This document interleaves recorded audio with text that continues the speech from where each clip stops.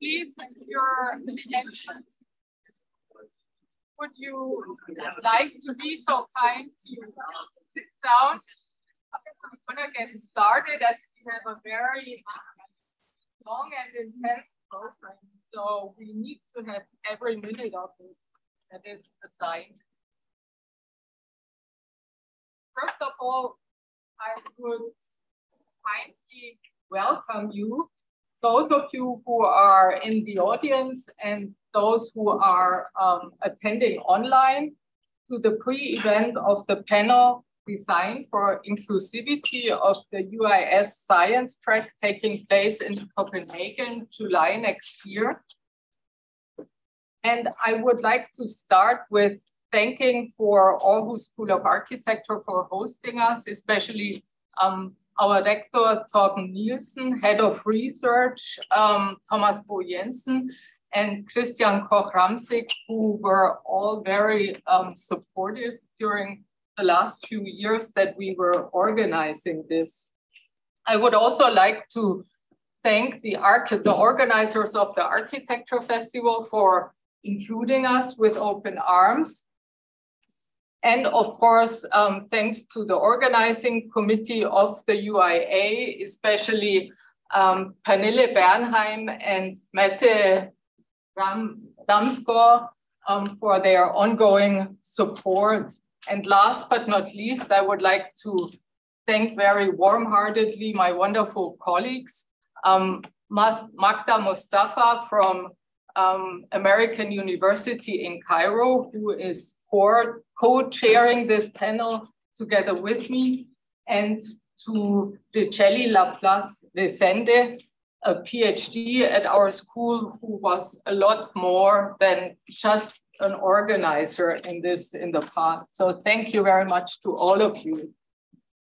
I have very limited time, so I would like to just focus on two key aspects which started Magda and myself to, to get this whole thing about the science track for the panel of design for inclusivity running. The first one was that we felt, or we are, it's not that we only feel that we are strongly convinced that um, our built environment as it is right now is anything but inclusive. We feel that the current design norms are limiting because they are normative and most often they center around a six foot tall white male who at some point was the role model for building up these norms according to which we nowadays in many ways create our environment. And historically, that excluded all those of us who are um, outside that norm. And this is something um, we felt we really have to radically change, and our panel should contribute to that change. So, and then the second kind of issue we brought up, or that was important for us, that this, what we want to create here, is not just about um, creating solutions in architecture such as accessibility, or very often when it comes to, um, to inclusivity, when we go about the gender debate, the first thing that comes to mind is the bathrooms. So this is not, even though we think it's important, but this is not what we want to tackle here we really want to um, radically change how we conceive of our built environment and also the realities that we as designers are confronted with and the framework we create um, with our um, creations. So we want to bring about a change in thinking and a change in looking at those groups who have been historically excluded. Um, next slide.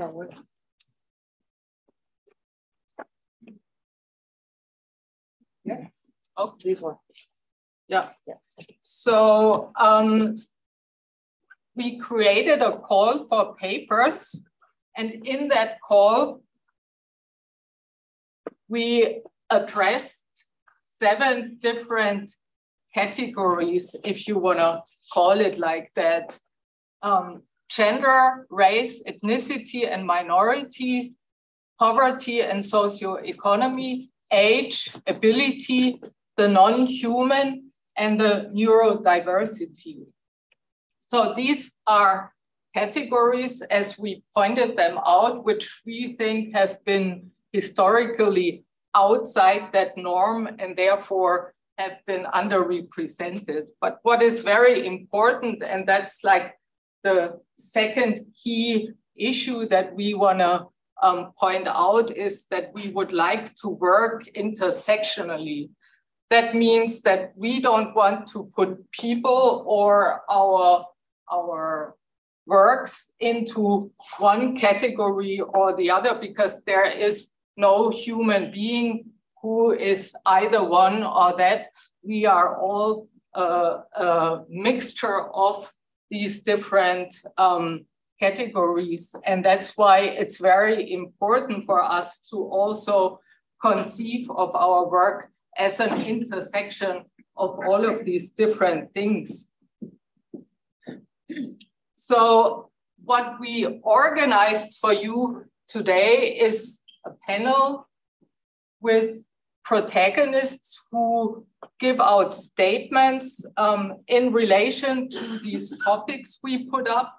But then in consequence, after a short intermission, we would like to discuss these statements and we would like to discuss with you what that means for the future design. So I would briefly like to introduce the panel we have Chris Downey visiting us from the west coast of the US. He's an architect um, working for the last 35 years and since 2008 without sight and um, that he wants to leverage this alter perspective as a consultant and as an educator of architecture, also specializing now in universal design.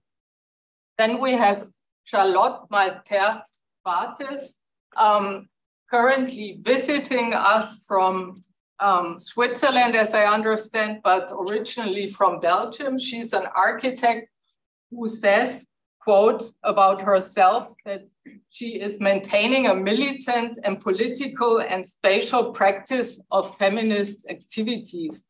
She's the co-founder and member of the Parity Group, a grassroots association aiming at improving gender equality and diversity in architecture education and the profession. Then we have online with us Jordan Whitewood Neal. He's an architect and an artist whose work addresses disability, domesticity, pedagogy and cultural infrastructure. And he's co-leading a design think tank at London School of Architecture on reprofiting as a process of civic reparation. Um, reparation.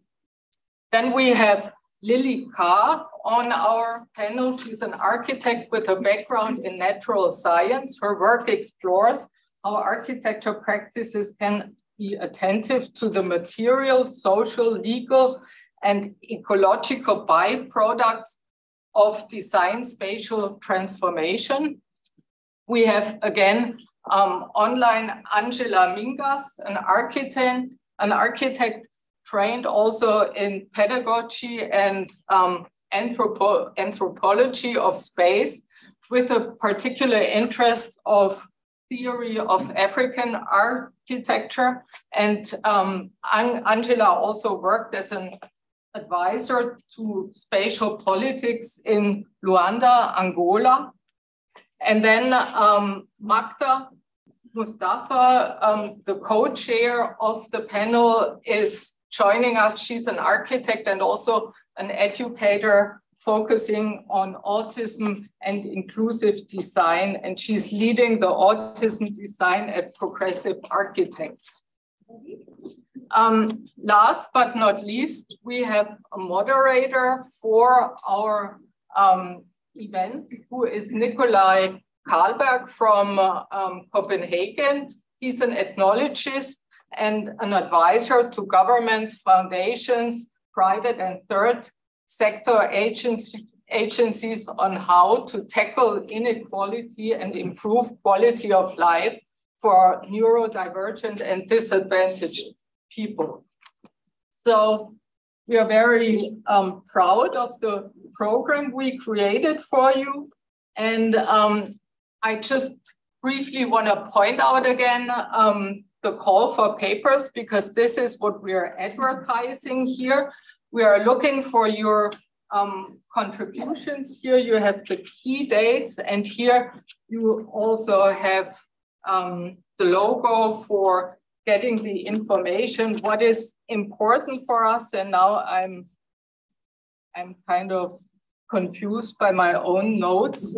what is important for us is um, on the one hand, the audience we attract in this call, it's not supposed to be only dry scientific papers. Architecture is a very diverse um, discipline and diverse is also its mode of expression. So we want to um, include um, authors such as curators, architects, urbanists, all kind of um, people who contribute to create the built environment, but then it's also really important for us to get contributions in various different formats, such as narrative essays, scholarly essays, um, photo essays. So um, we really hope to get a variety of contribution that reflects the diversity and the variety of our built environment. Thank you very much. Um, now I would like to give over to Nikolai. Thank you.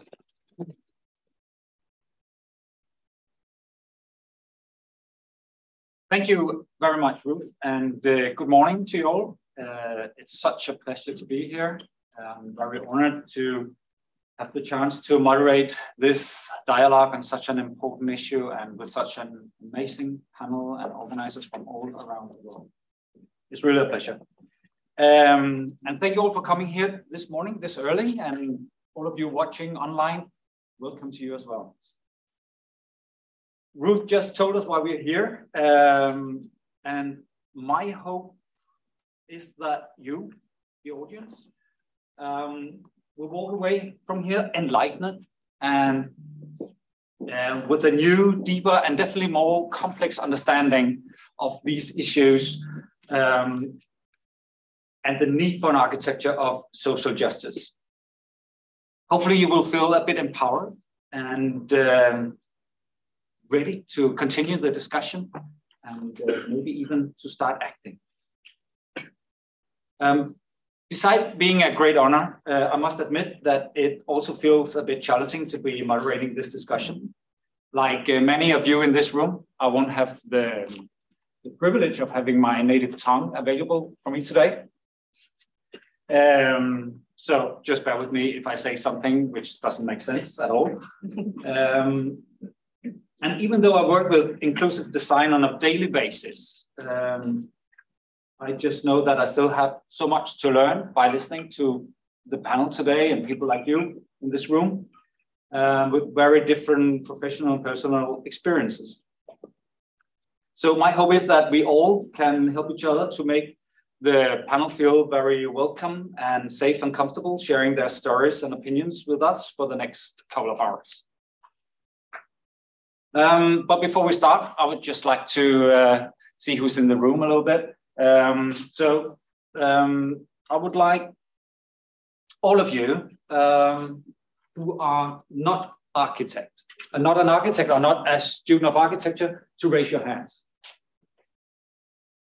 Okay, we have a little minority here. Great.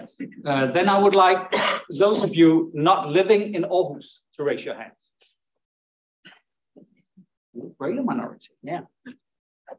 And finally, those of you not having Danish as your native tongue, raise your hands. Okay, excellent. Three minorities. I must say, based on this uh, little poll, this uh, event is for um, architects, Danish architects living in Aarhus. Uh, no, it's of course not. It's for all of you. It's for everyone in the room. So now it is time to um, invite our first speaker uh, on the floor and uh, for a protagonist statement. And as our dear speaker, or, uh, as, uh, um,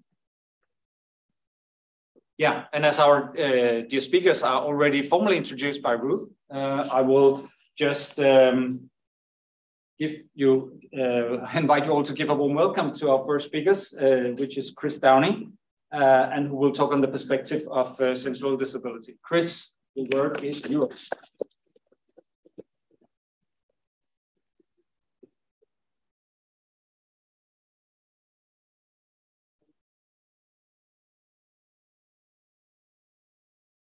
Morning. Excuse me. Hello, everybody. Let me start my timer.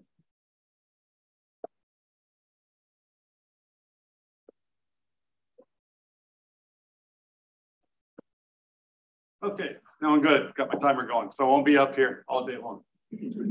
so, um, thank you for that introduction. Thank you, Nikolai, and thank you, Ruth. And uh, not to confuse everybody, when Ruth described how uh, this, this discussions were to be about uh, you know getting away from the uh, white uh, six foot tall male. Uh, yeah, interesting. That's where we start. But to that extent, I used to be on the inside, that in group, the six foot tall white male, looking to the outside, not fully getting it. One day I woke up with no sight at all and being on the outside looking in and consider, re reconsidering all sorts of things from how to work to what does it mean, how to get around, and uh, all sorts of things that we don't have time for. But uh, through that journey, I took as a fascinating adventure. Actually, I've come to realize it was almost like a fulfillment or continuation of my architectural uh, education. So I am trained as an architect uh, two degrees in architecture, undergraduate at North Carolina State University, graduate at UC Berkeley. But in my undergraduate time, I spent six months studying in Copenhagen as part of the Danish International Studies. So it's like coming home. You know, I did visit Aarhus at that time. Uh, so, uh, and I do continue to practice now as an architect without sight since 2008 uh, in a pri- uh, in work focusing on projects for the blind and people with low vision but all sorts of disabilities, other sensory disabilities, other uh, physical disabilities, and neurodiversity. So it's uh, really been quite a, a, uh, a, wonderful opportunity to really dive deeply into that area and really embrace that as part of my practice. I also teach uh, periodically at UC Berkeley, and last spring had the, uh, the privilege of serving as the inaugural visiting professor of practice in social justice.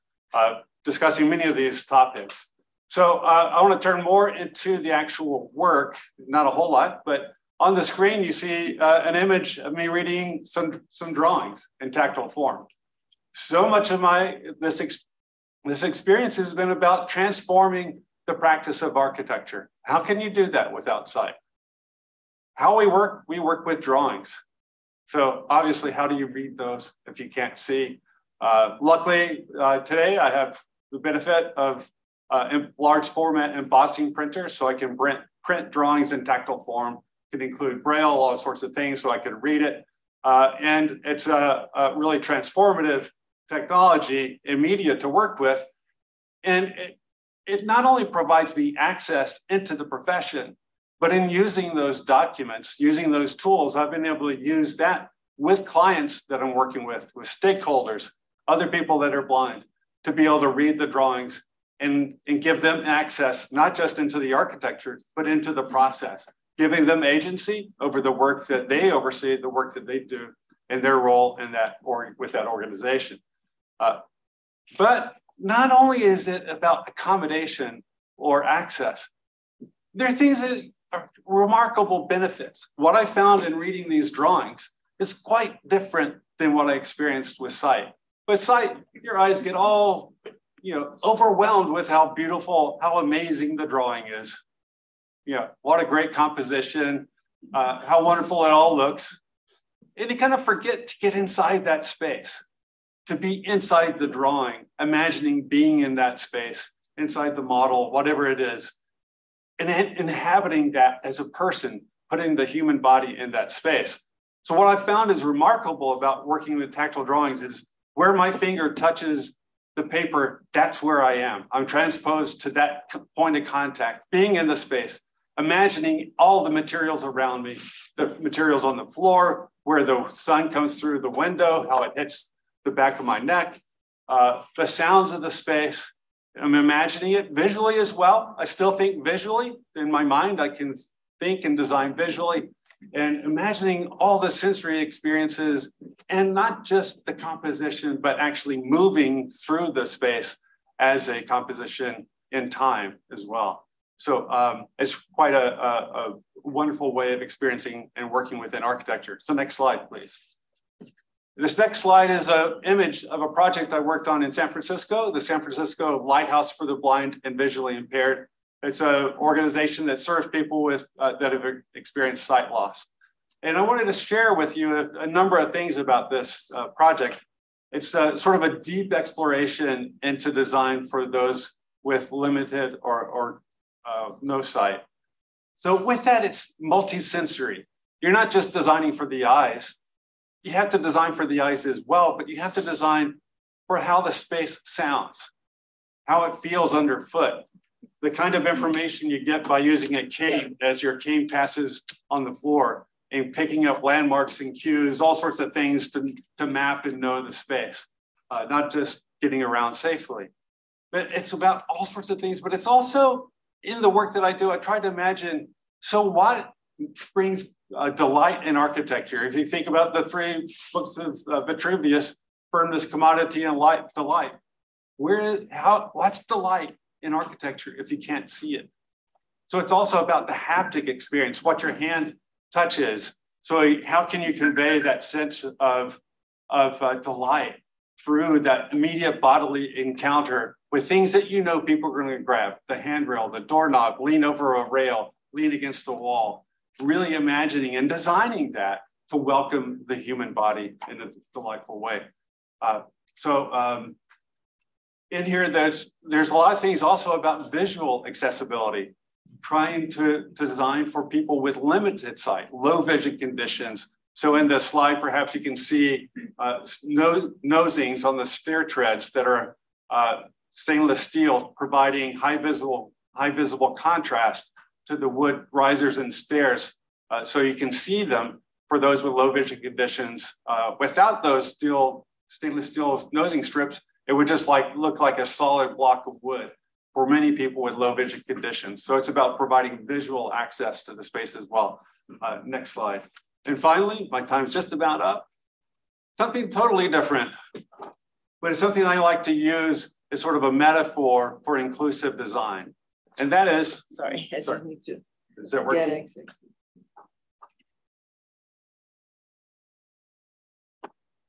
Sorry. And here you go. Oh. So uh, something totally different, rowing. What does that have to do with this? I take this as one of the most incredible inclusive design demonstrations. I'm in this boat. Uh, I'm a competitive rower.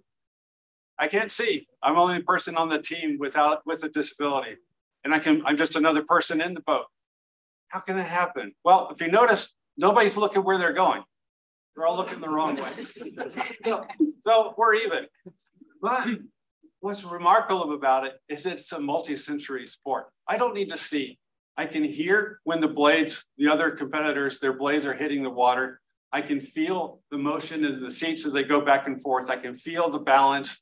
Uh, I have the benefit of proprioception, muscle memory, knowing how to do things repeatedly and sort of match the technical uh, skills. So it's uh, there's so much that goes into it, but it's not just that it's accessible, it's inclusive.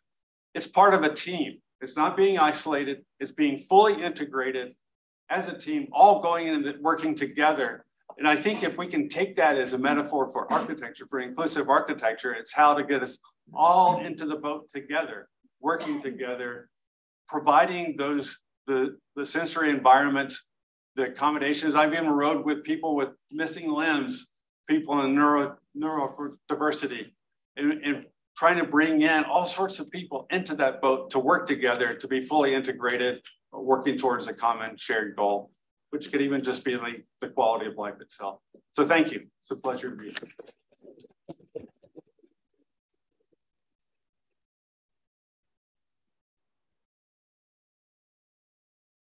Thank you so much, Chris, for, uh, for ending on this beautiful metaphor, the multi-sensual world and, and the, the world imagined as a rowboat.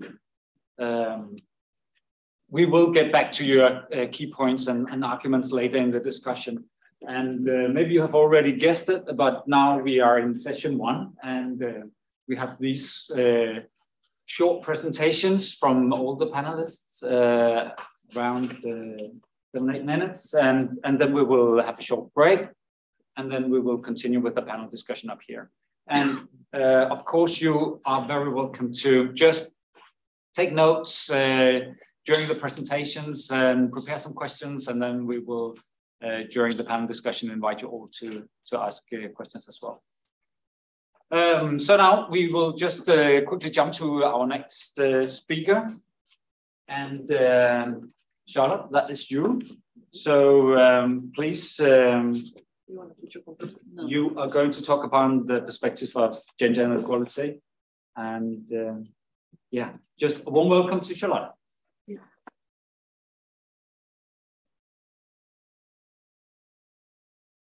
Thank you. I'm gonna follow Chris' um, best practice and time myself. Here all day.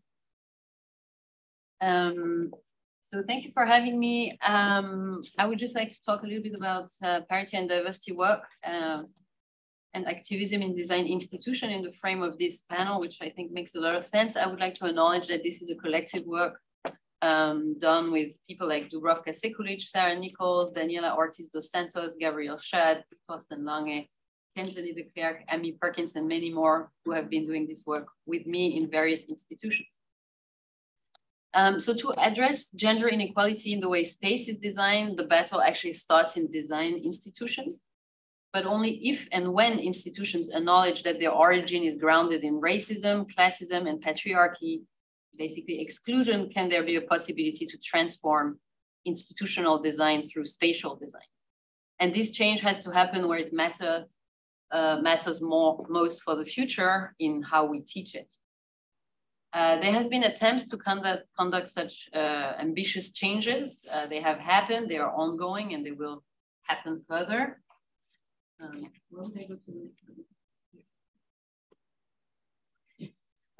um, so to unpack the complexities inherent to these efforts, the work of the Parity Group uh, at the Architecture Department of the Swiss Institute of Technology, where I um, previously uh, was um, uh, teaching assistants is a telling example. Uh, so what you see here is two uh, images, one that shows um, a group of white men in suits looking at a model and below it says architecture then. And then the next image is uh, a, a, group of white men, uh, some of them in suits. So there are some changes, some of them without suits. Most of them, all of them are actually white men uh, looking at a model and that's architecture now.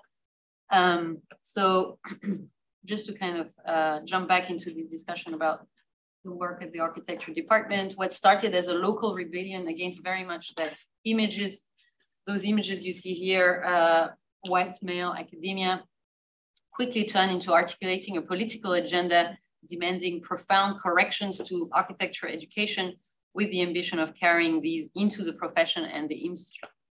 Um, we started back in 2014. The situation was very bleak. All male juries were a sad, recurring banality, and those who complained were a marginalized minority. Despite a fairly diversified uh, and gender balanced student body, diverse faculty was non-existent with female professors an exception. Blatant sexism and racism, social injustice, classism, and lack of diverse representation were rampant in that institution, but I believe this is something that applies to others, unfortunately. Um, these appalling conditions triggered a grassroots movement among teaching assistants, doctoral students, and junior researchers within the architecture department was, was to become the parity group, a politicized, fluid, in-house body that grew to include staff and students and a few professors, and is still intensively active to this day, fully committed to changing the situation towards parity and diversity in the uh, conservative context of architecture education in Switzerland by deploying what we've come to call institutional activism. So what you see here are three posters, um, and I will also maybe mention perhaps in the discussion how we've also um, come to be critical of those, but those are um, three posters that show um, Semper, Le Corbusier, and Herzog and de Meuron in drag um, as a way to kind of interrogate um, the canon. Now, hundreds of hours of free labor went into the organization work that created a remarkable space for dissent, conflict, accountability, and negotiation, allowing for other groups to emerge inside and outside of the institution, challenging hierarchies, teaching methods, and pedagogical content.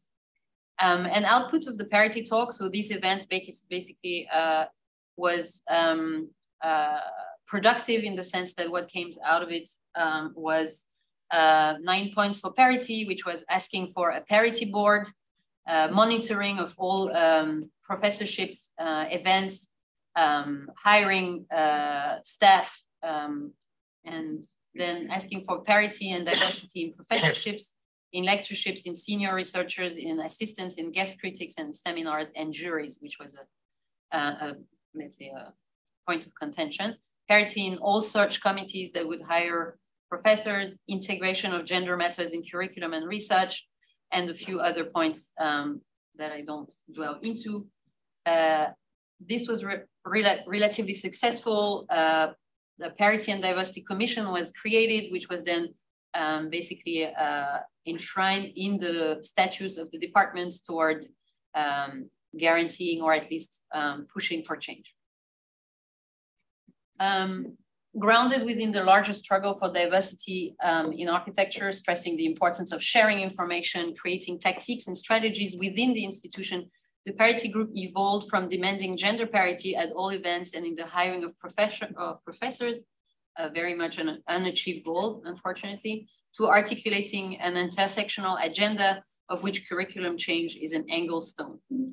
And one of the many outputs of this work is seeking to expand the parity conversation beyond the school to other schools, the profession, and other disciplines to create new global networks of solidarity and common strategies. Uh, and the framework and the following steps of these efforts became what um, has been called the Parity Front, which is a spin-off shadow institution dedicated to gender equality and diversity in architecture, connecting all the groups in all architecture schools that are working um, towards this. And actually the group um, of ARIS is also part of that. Um, now to conclude in regard to this institutional activism, if many schools have shown unprecedented progress with the hiring of diverse candidates, practical deep transformation is not that tangible. While universities in general and schools of architecture in particular are pressured into presenting a facade of progressism by demands both emerging from within and outside of their structures, the deep necessary structural changes in pedagogies are not addressed. Pointing at what Olufemi Taiwo discusses in Elite Capture, to respond to the pressing needs of our world, it is not simply optics that need to change. In the case of architectural education, what has to be revolutionized is architecture itself. Acknowledging that the basis of architecture as common knowledge is grounded in white male supremacy means reconsidering all relations anew within and about the profession. What is at stake is unlearning as much as learning and relearning.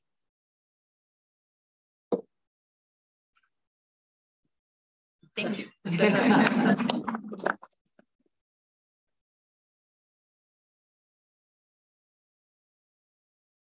Thank you so much, Charlotte. Absolutely on time.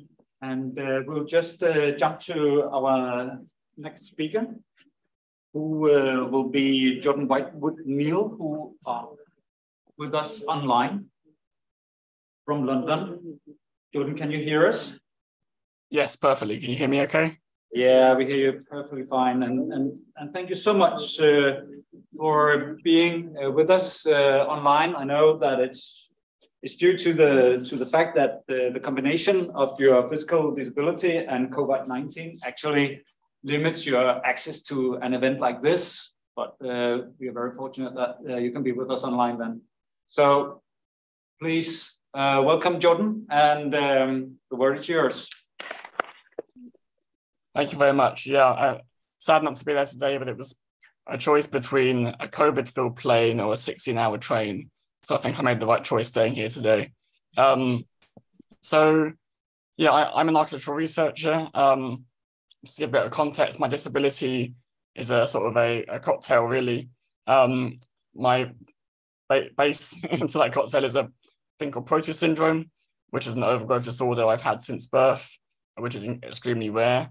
Um, this then le led to me having both legs amputated at the age of 13, 14, um, and then a spinal injury. So I've been in a wheelchair for the majority of my life um, and, the major and the entirety of my sort of higher education. Um, so over the last two years, I've been conducting research into the history of disability and domesticity at the Architectural Association, an architecture school in London. Um, this research has focused on a disability-centered design course which ran in the 1990s, which was started by a disabled former tutor at the AA called Andrew Walker. Um, it was this history that truly motivated me to think about the inclusivity of design education, particularly reflecting upon my own experiences and challenges in architecture school. So sharing the same disability as Andrew Walker, funnily enough, um, his experiences and challenges although experienced as a tutor, felt very familiar. Um, so from visiting universities with no access to their, to, their, to their studios when I was looking for my first course, to being told that my disability would hold me back from fully engaging in the course itself, I felt that these barriers were sort of direct and personal injustices. So Walker faced both social and spatial barriers at the Architectural Association. Um, and we see him here in this photo, which shows him in his communication studio at the AA, which was at the time in the 1990s one of the few accessible rooms in the entire school, which stretched across several Georgian buildings. Um, so he was kind of, you know, isolated in this space, and he was sort of quite reliable in that students always knew where he was. And I found this to be quite a um, poignant point about the whole, whole research. Um, so and, and sadly, I believe that this experience still resonates with the experience of disabled students today. So because of all this, my work in this area has pivoted around several key initiatives that I'm currently working on to address both the contents and methods of architectural pedagogy. Um, firstly is a module that I'm currently designing um, for a design think tank at the London School of Architecture, which will be addressing the intersection between retrofitting, disability, and cultural spaces, which will explore alternative forms of design research and mapping community networks in the city. So really introducing students to thinking about access as a pivotal part of the design process and the research process. Um, secondly, I'm working on creating a disability and architecture network that brings together and provides support for students, practitioners, and academics in the UK. Um, and then if we go to the next slide. Um, one thing I'd say I'm most proud of recently is an event I co-organized um, at the London Festival of Architecture, which brought together disabled creatives. Um, and the point of this event was to bring us together, um, a variety of disabilities, to really basically tell stories about our own experiences in the built environment. Um, it felt like a very unique space and that was sort of safe and comfortable to be able to share, share things that we often don't talk about um, from abuse on trains to sensory overload on the underground to being accosted by faith healers um, and so many different things. Um, and this actually led to the founding of a disability centered collective that hopes to sort of negate the historical isolation and neglect of disabled voices in design discourse. So each of these projects sees social justice as a form of sort of liberation and reparation for disabled communities usually excluded from the built environment. So for me, I mean, this suggests three key obstacles for the creation of an inclusive and built and, and just built environment. The underappreciated history and experience of disabled people, access to and accessibility of architectural education, that, especially in the UK at the moment, creates very restrained routes to qualification that I believe in turn limits disabled architects and designers from accessing education and going through it fully. And finally, you know, creating a very narrow view of inclusive design and its impacts on wider society. So we not only need to transform the way we think of inclusive design, but how it's viewed from the outside as well. So arguably some of the more systemic causes of these obstacles are due to gaps in knowledge, such as disabled contributions to architecture, culture, and legislation. And this has been sort of one facet of my research into Andrew Walker, understanding how his course supported students who then went on to actually affect massive change in the industry. So here, the importance of disabled presence is clearly an asset to the creation of a more inclusive built environment. And so from this, I would pose on behalf of our collective three key questions that we want to respond to as an interdisciplinary collection of architects, designers, artists, and researchers. I put it forward to yourselves as well. So these are, how can we make design and planning a democratic process that draws from local and embodied experience, this being of disabled people? How can we create and increase agency and access to culture and cultural spaces that consequently make the disabled communities more actively involved in the built environment. So I believe that you know being involved in the design process as, as a community is very important as well. And finally, how can we transform architecture education to enable more flexible and diverse forms of spatial practice? So overall, we want to communicate how the disabled voice in the lineage of sort of architecture is incredibly neglected, yet show how disabled people who often encounter buildings in the most critical and challenging of ways, are undoubtedly some of the most valuable potential voices in understanding the issues and successes at the heart of built space. Thank you.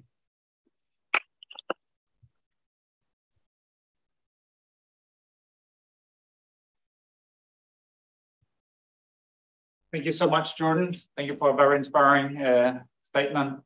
Um, it's just amazing how you use your personal experience to, to push some of the, the, the barriers and limits in, in architecture. Thank you.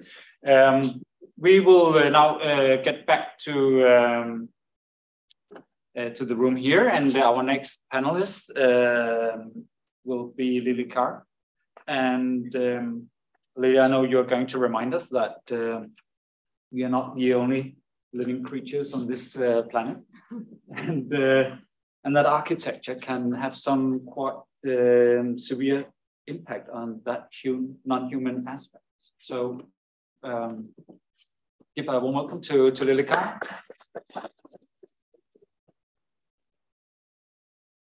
Um, so hello. Um, so I trained as and have worked as an architect, but I'm here to share my perspective shift on an architecture for inclusivity for the non-human, having worked on a project that isn't a building um, or your kind of traditional architectural project, but rather an atlas called Feral Atlas, um, which is a project that was led by three anthropologists, um, Anna Tsing, Jennifer Deger, Alder Keleman Saxena, and an artist and architect, Feifei Zhou.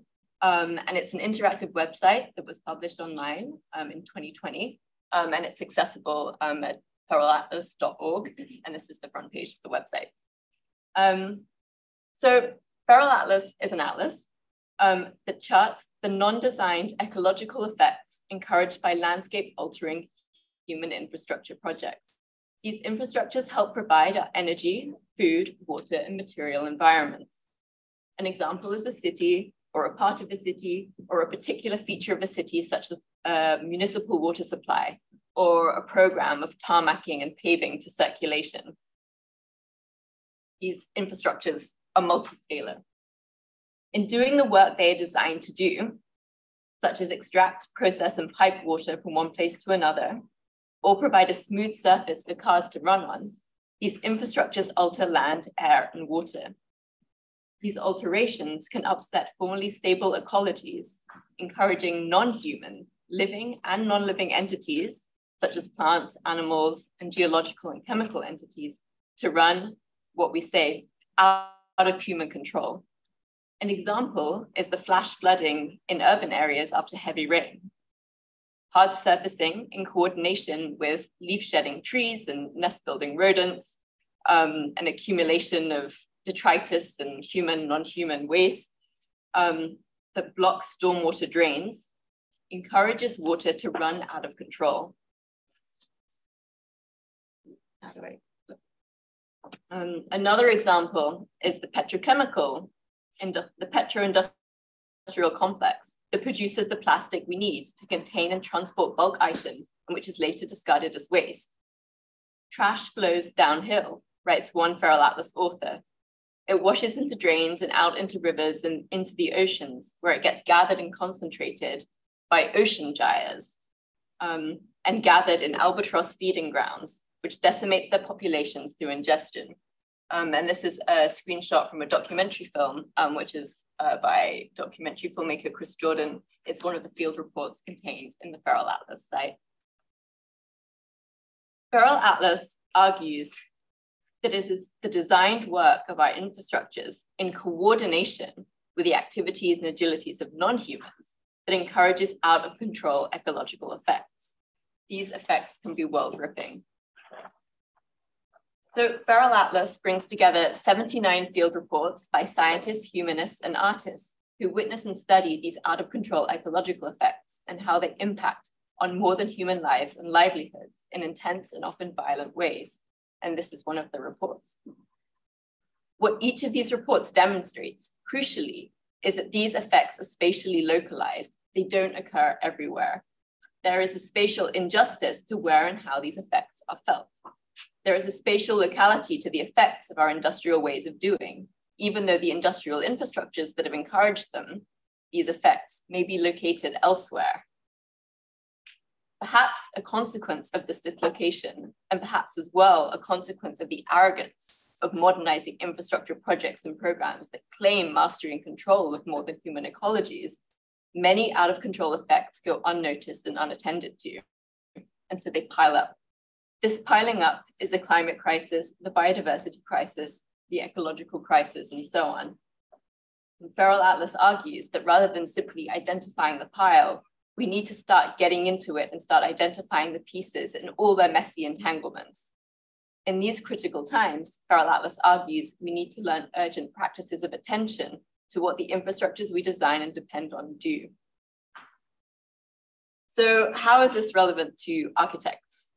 Um, well, I worked on Feral Atlas shortly after graduating and having had a couple of years experience working in medium-sized architecture firms, which were designing and building buildings in a fairly industry standard way. While working in these firms, I became quickly frustrated that the buildings um, that were being designed um, were being designed with very little consideration for the landscapes within which they were being built and the non-humans, as well as oftentimes the humans who were living in those places. Furthermore, little consideration was given to how those buildings, these landscape altering projects, were continuing to alter those landscapes after they were built, and how this in turn upset spatially localized ecologies. Um, working on Feral Atlas alongside working in these firms made me realize several things. First, that we increasingly seem to rely on bigger and better infrastructures to save us from environmental disasters, or neglecting to consider the ecological effects our, our existing infrastructures may encourage, and which might, you know, be said to propagate said effects in the first place. Wouldn't it make more sense to start trying to understand and care what our infrastructures we're already designing and building are doing? How might they work in coordination with non-humans to propagate detrimental or desirable effects? And since ecological alterations arise from the coordination of human and non-human activities, following human plans and designs is not enough. We need to learn to be attentive and to care about the activities of non-humans too. Um, so the big question, of course, is how. Um, and so for those of us trained in Western academic traditions, um, working with scientists, um, I found is a good place to start. Um, scientists know how to follow the activities of non-humans without assuming too much in advance. Um, they know how to hold their attention to scenes of world making in action. Um, in their work, in their practices as scientists, they are already building cultures of empathy and care and attunement to the needs and demands of the non-humans they are following. But getting scientists who work in one very particular way and engineers and planners to work together to understand each other is a daunting and difficult task. So the second thing working on Feral Atlas made me realize is that this kind of collaboration is hard, but it is possible. Um, it requires something that I think architects are quite bad at, which is patience, um, and something architects are quite good at, which is working with spatial analysis in multi-sensory, compelling, and easy to understand, but accurate and precise ways.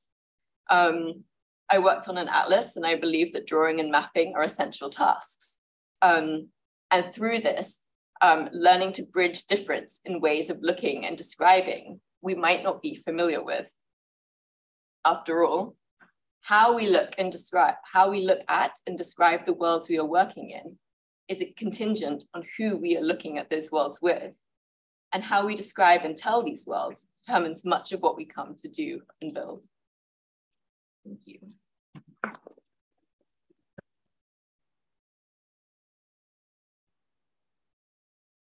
Thank you very much, Lily.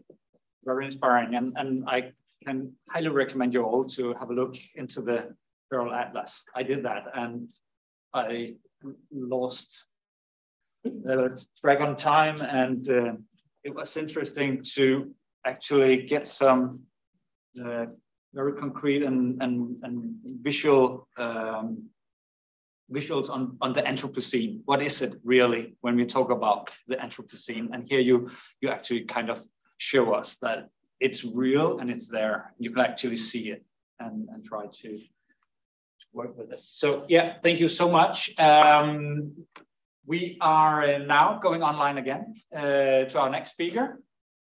And it's Angela Mingas. We are so happy that you are joining us. I really don't know whether you're joining us from Angola or Lisboa today. Are you with us? I don't know if you can see me. Yes, I am. Oh. But uh, yeah, now we can hear you, Angela. Yes. Hi. How are you? Well, Ali, I I cannot turn on my video because I think it has to be. Um, I I don't have the permission to do that you, uh, the hosts, the technical team should do that, and uh, we can you can see me. okay, we will uh, look into that, but uh, we can yeah. hear you loud and clear, so so you can. All right. Yeah. Okay, so I so I will begin. Yeah. So uh, yeah, first of all, it is with great pleasure that I join you on this open day, and uh, I greet my fellow panelists and. Um, the hostesses in special greeting to Riseli because she's responsible for my participation on this event. And uh, I, I, believe you can see me right now, but so I'm going to continue. So I am an architect and I developed my work as a teacher, as a researcher, and as a social intervention agent at the Center for Studies and um, Scientific Research in Architecture at the Universidade Lusíada de Angola. Uh, I'm talking to you from, uh, from Luanda. Uh, I'm right now in Angola. And um, so let's, so let's begin. Um, so um, I'll start with the word Musseque, which uh, is uh, an indigenous word name with ancestral roots and which today in my country is associated with the word with the informal settlement. So mm, when you hear the word Musseque is all that you are seeing in this image. Although the main objective and contribution of my work resides in the specific knowledge about these, these specific areas of the, of the urban tissue that we call musseque, there is a need to make a scientific recognition of the social, cultural, urban structure, identify the local heritage, and develop studies that allow us to understand the musseque that are the greatest urban challenge in Angola. For Luanda, the capital city, the musseque have an impact of around 49% of Luanda's urban territory and 80% of its population. They represent, by consensus, a singular fact determined by space and time, a landscape full of historical, social, and aesthetic values of the local urban culture, whose construction resulted on one hand from complex processes associated with slavery and colonization resulting from the Portuguese conquest, and more recently to the Civil War and the economic crisis already in, uh, in the independent context. But on the other hand, the dynamic and changeable character of the form of, of its elements um, fruit of the relation of appropriation and transformation of the space made by its user turned out to uh, uh it's um, make the musseque this scenario of singularities. And for the most part, these musseques are territories, unfortunately, with precarious conditions of habitability and marginalized from investment and state funding. There is a real threat since public policies have been created to eliminate these territories and replace them with fanciful projects with a global profile. Uh, and uh, from our perspective as urban planning, we are talking about urban reconversion. This public policy places more than three and a half million inhabitants in conditions of vulnerability and cultural identity. Can we go to the next slide, please? Yes, thank you. From this perspective, we start from the principle of the, this Indian philosopher Jiddu Krishnamurti, who says, if we can really understand the problem, the answer will come from it because the answer is not separated from the problem itself. Uh, from this, uh, from this, uh, from this quote, and because these sects belong to this category of informal settlement, there is a huge void, epistemological void about how to address, how to intervene in these territories. And so the paucity of urban design studies about the musseques within the scope of urban morphology based on the system and morpho, morpho, morphologic, morphological I'm sorry, elements of the landscape um, uh, with emphasis on historical cases um, puts us at a considerable distance from full knowledge of the historical, social, cultural, and aesthetic values of these non-accredited territories. To this extent, knowledge about the musseque is an area of multidisciplinary disciplinary interest since the interpretation of, the, of its genesis should be a hermeneutic, I'm sorry about my accent, exercise using archetypes, methodologies, and urban lexicons that still do not exist, but to be developed from other scientific fields such as philosophy, mathematics, and even linguistics, in our case of Bantu origin, in a first and intuitive approach to the subject. Thus, finding solutions derives from the full understanding of its dimension and elements, diving into its complexity to define its origin and thus finding the answer within the problem itself. Overcoming challenge of the non, um, of, of this reconversion of informality that it's an existential functional element of the city. And uh, it's important for us to build in, to create intervention tools from new epistemological paths. Uh, can we go to the last slide, please?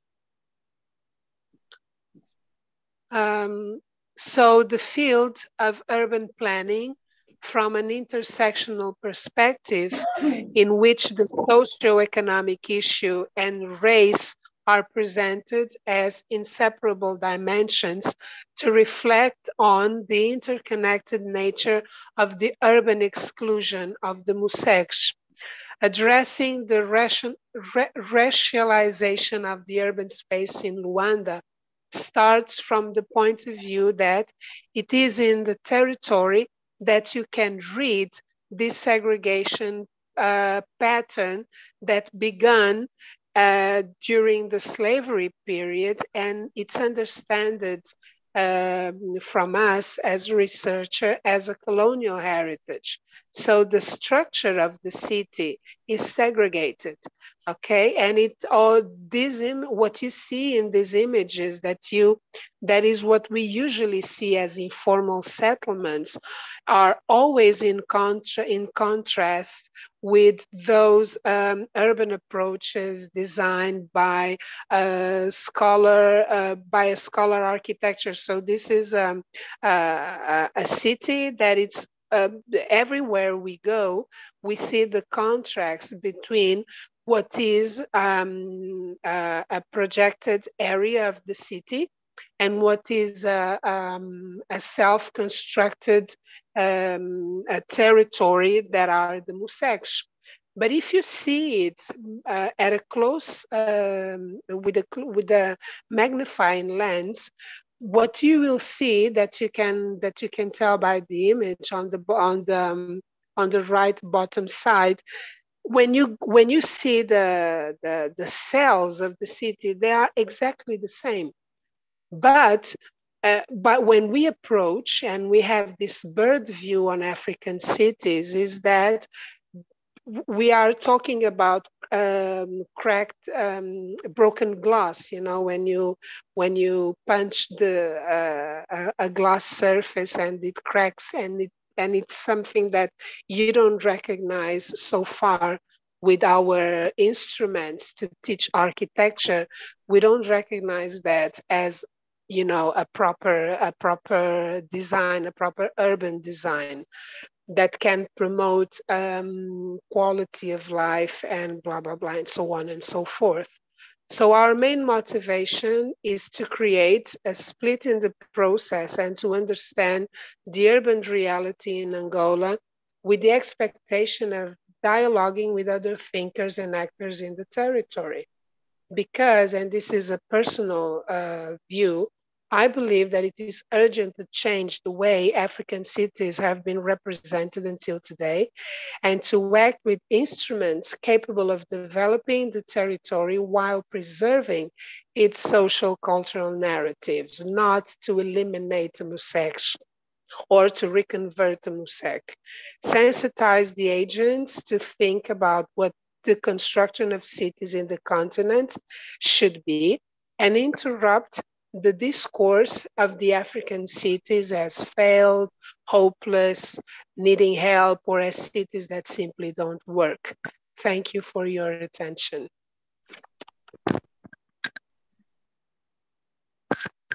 And that's it. Thank you so much, Angela. Very inspiring, uh, very interesting, uh, and, and, and sharing uh, your your key point on, that we need more knowledge about these dynamics of segregation if we are to, to cope with that in a, in, in a better way. Um, we'll get back to you as well in the in the discussion, um, but now we uh, we have the very last uh, presenter, um, and it's Magda Mostafa, uh, our last protagonist, and um, Magda, will talk on the perspective of uh, neurodiversity. Um, and uh, let's all give uh, Magda a warm welcome.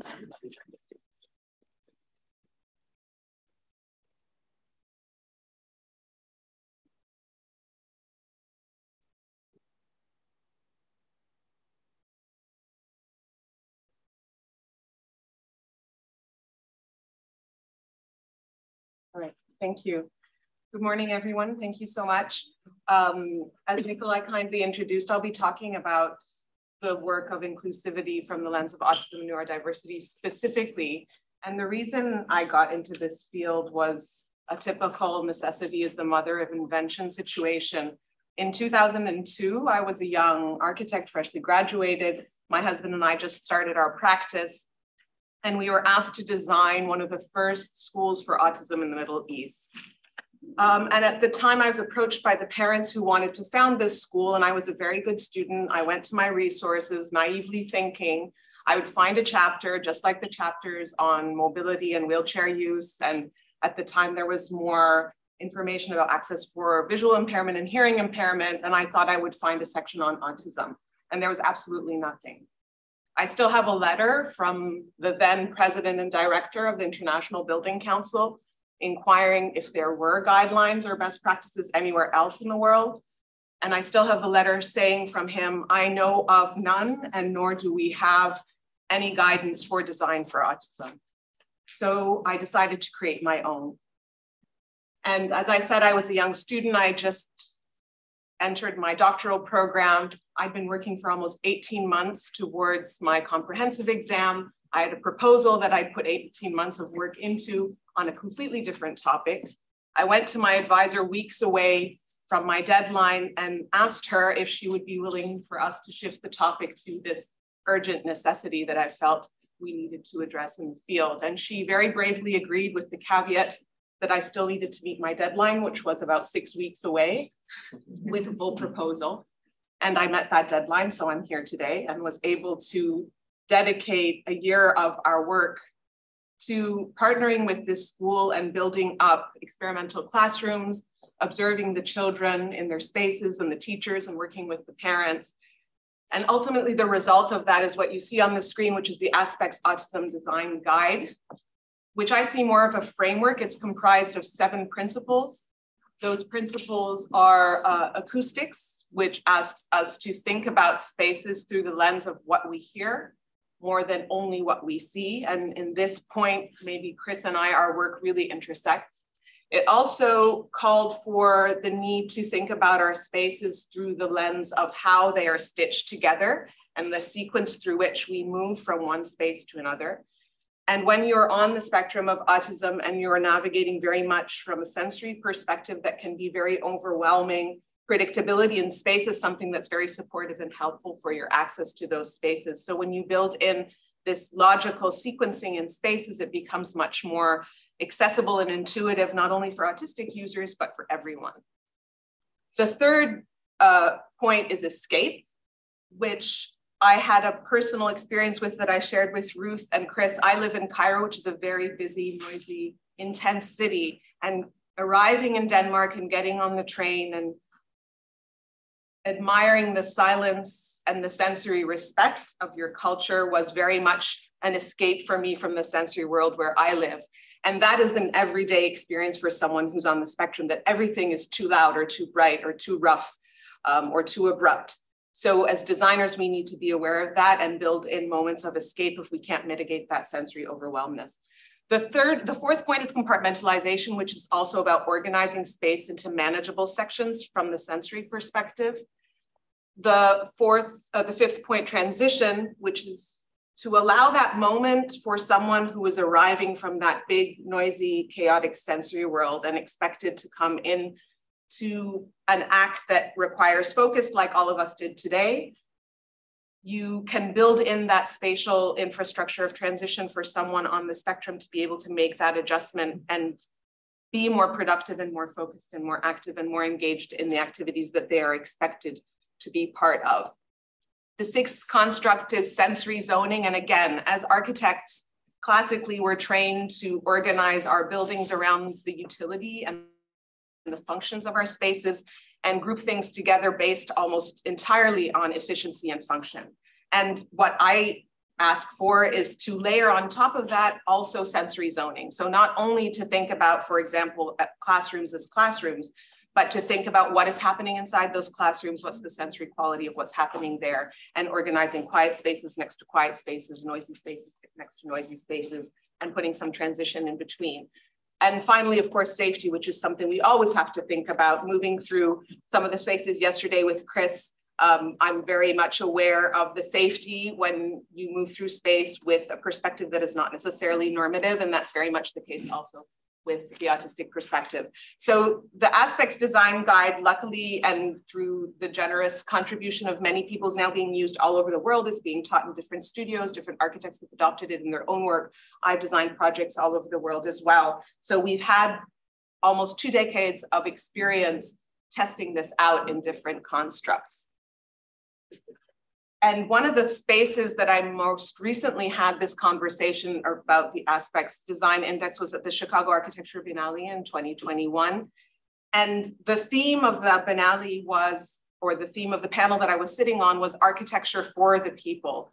And it's interesting that Jordan mentioned this idea of democratization of the architectural process and architecture for the people is very much a terminology of democracy. And being in the United States, of course, there was a lot of debate. Is it democracy, uh, is it architecture for the people, which looks at people as objects? Is it architecture by the people, which looks at people as agents of change, perhaps? Or is it architecture with the people, which looks at people as a process? But the word that I was more concerned with in that whole debate wasn't the for, by, or of, but it was the people. So this slide here is a little sketch I've done of a human at the center of a circle. And I'm more concerned with who is that person at the center of the circle. We talk a lot about human-centered design and the importance of human-centered design.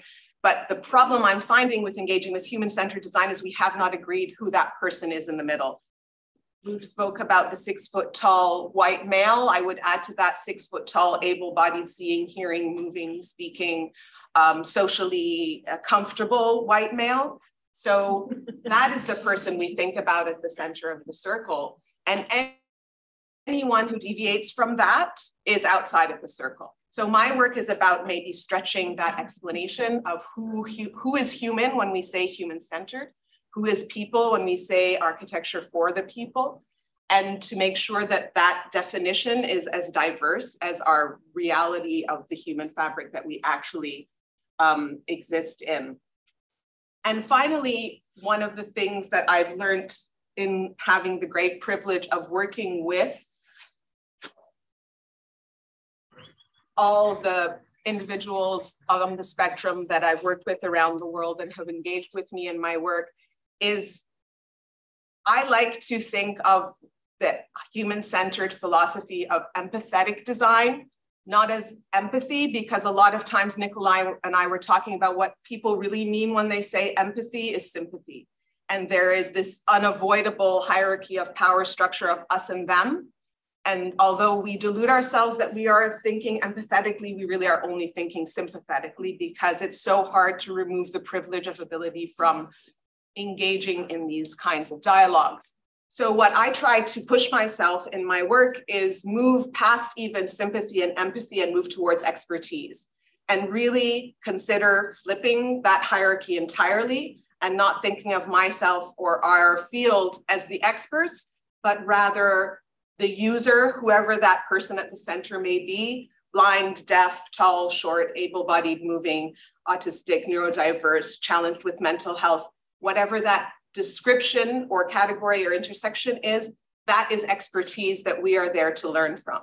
And one of the most beautiful in my experience examples is the video that I just ran, which was developed and designed by a wonderful autistic artist that I've worked with, uh, Stuart Nielsen. And during the pandemic, Stuart was spending a lot of time, of course, locked down at home. He lives in Ireland, looking out his window, using his camera. He uses his camera as a lens as an autistic person to view the world. It helps him filter and edit out certain things, and then he can take a post experience edit and reformulate images.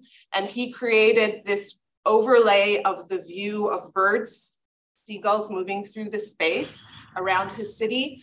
And because of his autistic mind and the expertise, he was able to recognize a pattern of their movement that he uncovered was actually a reflection of the city's urban fabric and streetscape. So that pattern that you see the birds mapping in the sky is actually a reflection of the street network underneath in the city, which the birds had discovered was a way for them to find food during the pandemic when the streets were abandoned and there was refuge and trash on the streets that they could go down and pick and find food in. And this is all from the expertise of the brilliance of the autistic mind.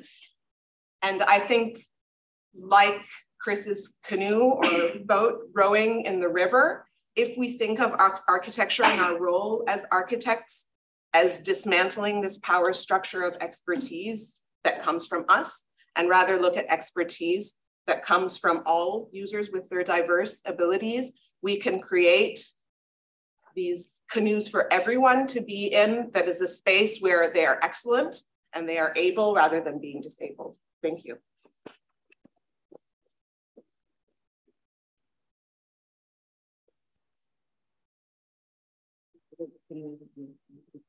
Thank you so much, Magda. Um, what uh, an excellent uh, way to end the first uh, session. Um, we are now uh, up for a very short break, and um, so it's it's five minutes, five plus minutes, uh, and uh, I want to see you all back here at ten forty, and then we will continue with the with the panel discussion. Before I leave, I just uh, know that you are just going to say a little bit about yes, the I afternoon program. Just very briefly like to um, point your attention to the fact that in the afternoon we have these lived experience workshops or activities where you can, for example, engage in a tour in a wheelchair or walk through the library space with Chris and um, Lily, she also um, organized or um, is leading a tour and you will, we will meet in the afternoon in the library. You see that in the program and we very much hope that you will come and share the experience with us. Thanks. Okay, thank you. But uh, please uh, do come back in five minutes and then we will have um, discussion with all these uh, very interesting perspectives.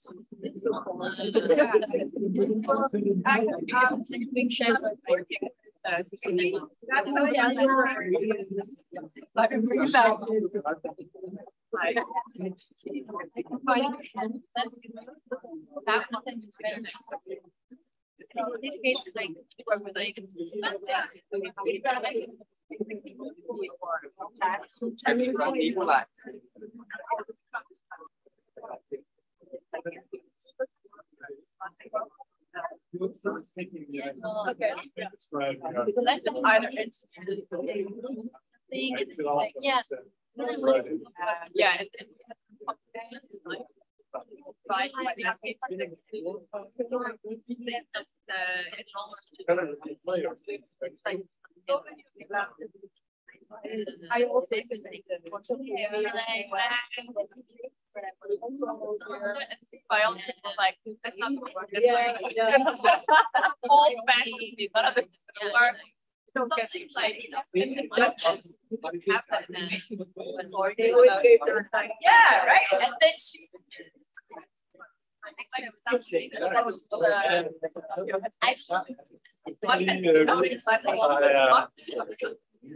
but like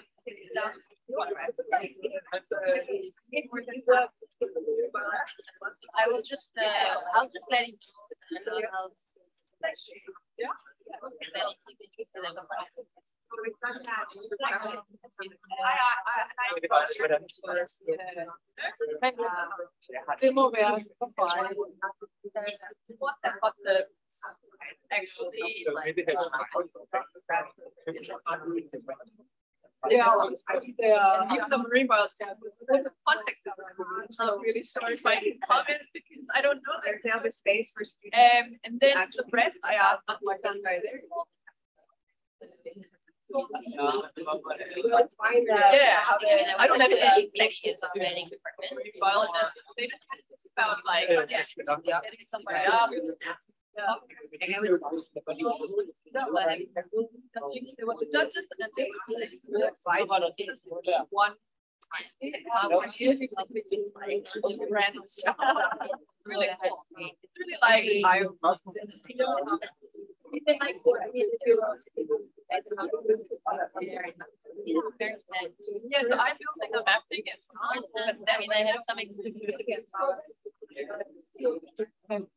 but of course, like, you have to like, when they're like, and then you anyway,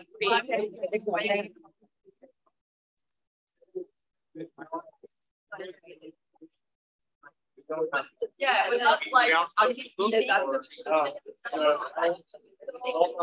Yeah, it has some It's very dangerous otherwise.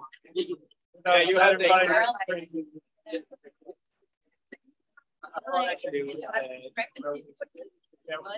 Highlighted. That thing that can be a, like fine. Yeah.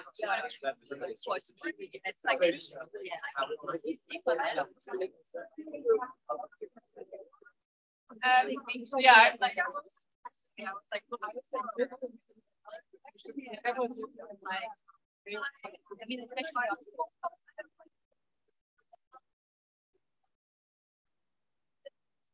I know. But yeah, you don't have, um, you know, I'm more like. They always need to buy but, but I don't think that's what you're closer to them. Right? And then they're okay.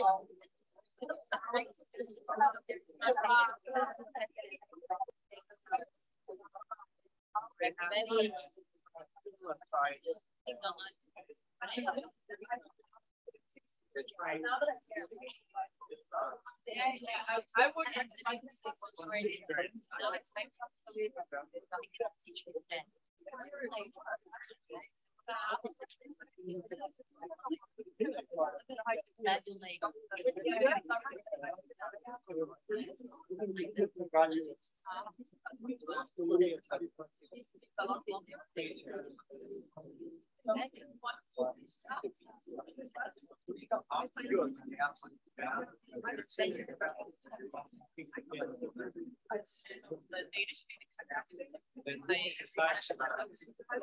to like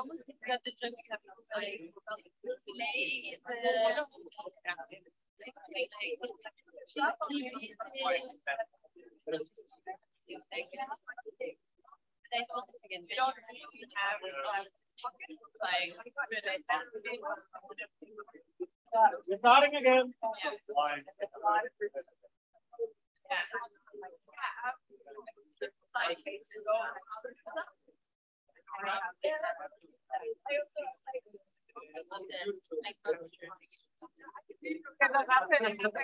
Oh,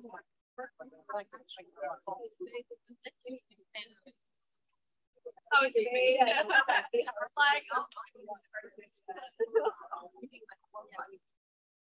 like.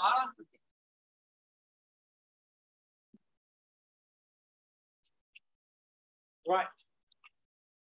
Thank you. We are back for a second session and uh, panel discussion where we'll try to kind of uh, get into some, I think, questions across these very, very different perspectives And um, I think I will uh, start by uh, inviting a couple of uh, students as well into the panel. So we have the student perspective here. Group, can you just shortly introduce two students? I just wanted to give them a chair and I was about to destroy the furniture here. Um, we have two students. Um, there's Anna-Lena Sass. She's an architecture student from um, Copenhagen.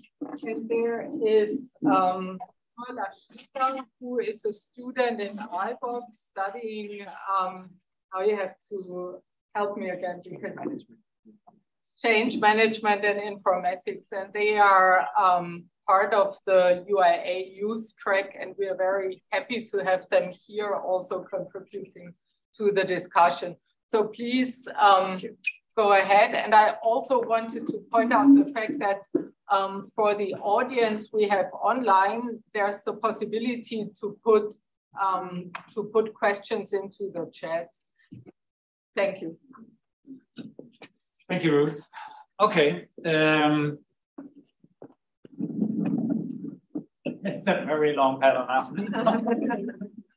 I'll be out here on the side. Okay, I think we should uh, try to, to start where we kind of ended with you, Magda, and um, the question of who we are designing for. Um, you talked about the need for a new understanding of the human and a more inclusive understanding of the, the human in human-centered design. But I think it's an obvious question that listening to all your very diverse perspectives, is it really possible to design for everybody?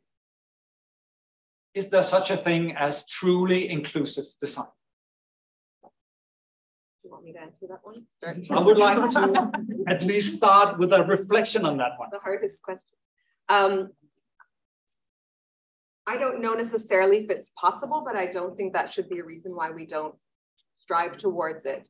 And in striving towards it because we still are a lot of these fields are very much emerging and especially the conversation across us is very much emerging. So i hope that in striving to do that you figure out some solutions but to be more practical rather than abstract. Um, chris and i have spoken in the past with another colleague of ours who works on deaf space and deafness because the three of us kind of engage with the sensory world.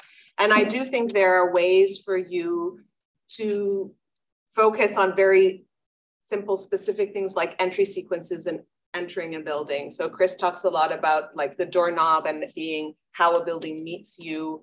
Um, I talk a lot about how moving from the outdoor space and the sensory world to an indoor space needs a certain element of transition. So I think if we start focusing on those moments and, and thinking about them through different experiences, some of the solutions that I'm finding helps work because you do find conflict where by taking one person's needs into consideration, you actually create a barrier for another group. And there you can build in some agility into the design. You can have some choice, some flexibility, some adaptability. Technology can help support. But it is definitely an area that we need to focus so much more attention to. I do think it's it is possible in in moments. It may not be possible in its entirety, but without us starting at least this effort, we won't figure out where those gaps are, so we can start having a conversation and addressing them. Can I jump in? Yeah, sure. And please just you know uh, give me a sign that you want to jump in. So yeah. yeah. No, I mean I just you know, to, to follow up on what Magda was saying and on your question, I mean, I think we're not even trying to, mm-hmm. to do inclusive design. I mean, the education that, I mean, I just look at the curriculum that I've been exposed to from my own, which was a complete disaster. And I'm kind of constantly unlearning since I've been educated as an architect um, in, in Marseille on the, you know, in, in the shadow of Corbusier um, and the, the infamous Modulor. So you know, mm-hmm. to go back to that figure that we talked about. Um, but then also just looking at the curriculums that I have um, been exposed to as faculty from ETH to the GSD and now EPFL. I mean, there is not a single class on inclusive design whatsoever. I think there might be like uh, points. So we actually talked about this just earlier, how certain school would invite faculty as, you know, guests um, to do some studio on, you know, uh, inclusivity, whatever that means, to fulfill what I talk about when I talk about these facades of progressism. Um, but then these people are not tenured. Uh, the curricula doesn't have that enshrined in its, it's not a fixed class. I mean, I don't know, maybe we could actually ask you guys um, what's the situation with curriculums, but um, it seems to me that we're not even trying, mm-hmm. at least in the university, it doesn't feel that. Yeah, let's yeah. do that. Good idea. So actually we do have something about inclusivity in uh, architecture. Like I just had a semester last semester. The thing is, even though they try to have a focus on it, sometimes it fails. What you really notice is that there's a huge lack of knowledge. So even though it was supposed to be a theme, we didn't really get out of it as much as we hoped for. So the focus really quickly kind of drifted away from what it was supposed to be. Um, and our project ended up answering a whole different question than it was supposed to. That's a lack of knowledge from the faculty and from the teachers.